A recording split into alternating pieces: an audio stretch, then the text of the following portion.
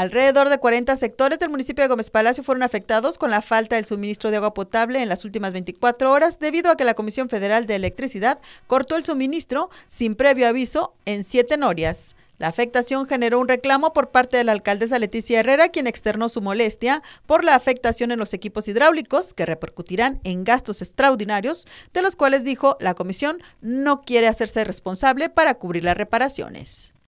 ¡Qué poca madre! Ahí sí lo digo con toda la extensión de la palabra. Ya van a empezar a estar chingando Comisión Federal de Electricidad. ¿De qué se trata?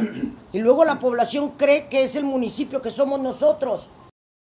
Ante ello, el ayuntamiento publicará un desplegado a nivel nacional exigiendo un alto a los cortes de energía eléctrica.